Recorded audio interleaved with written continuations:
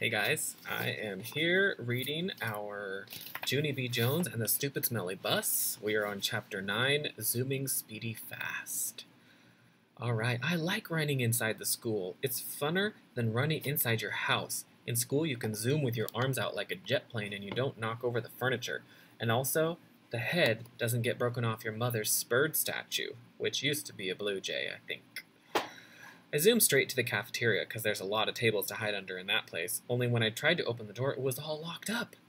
And so then I ran to another room across the hall, only that stupid door was locked too. Hey, who did all this dumb locking? I asked. Then I started jiggling up and down because I was having a little bit of a problem. That's why. The kind of problem that's called personal.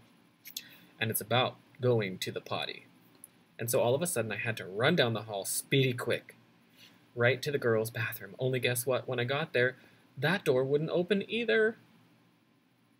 Only guess what? Oh, yep. And so I kicked it and I hanged on the handle because I weigh 37.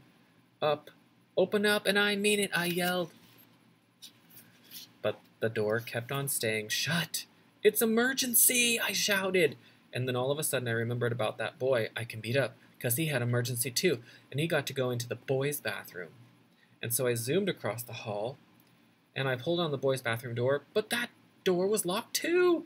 Stupid, stupid doors, I hollered. After that, I started to jiggle up and down very fast. Oh no, now I'm to have an accident on my skirt that looks like velvet.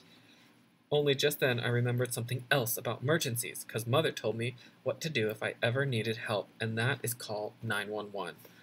And so then I ran back to the dangerous nurse's office, because that's where the phone was, of course, and then I picked it up and I pushed the 9 and the 1 and another 1 Help! This is emergency! I yelled. All the doors are locked in this place, and I, now I'm going to have a terrible accident.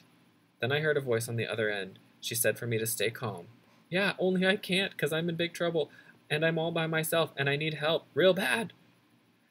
Then the lady said to calm down again, except for I couldn't stand still, and so I just hung up and ran right out of there. And I just kept running and running until I got to the big doors at the end of the hall, and then I run right outside because maybe there might be a little toilet out there or something. Except I didn't see one. All I could hear was sirens. Loud sirens were all over the place.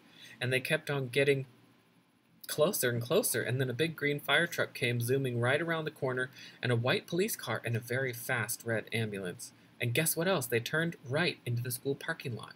And so I stopped jiggling for a second, and I sniffed the air, only I couldn't smell any smoke. And then I heard a grouchy voice say, Hey, hold it, Missy! And I got very scared inside because Missy's my name when I'm in trouble. I turned around, it was the man with the can, and he was running after me. Here's a, a picture to look at that kind of shows she's run out of the school. There's the janitor, the sirens, and the police car pulling into the parking lot. She's really done done herself good here. Hold it right there, he hollered again. And then I started to cry yeah, only that's the trouble. I can't hold it. I said I'm already holding it all. I can, and now I'm having an emergency, and all the bathrooms are locked, and now I'm going to have an accident very quick.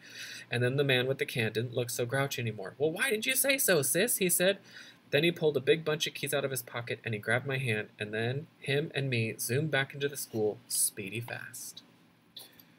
And that's the end of chapter 9. Stay tuned for chapter 10 to see what happens.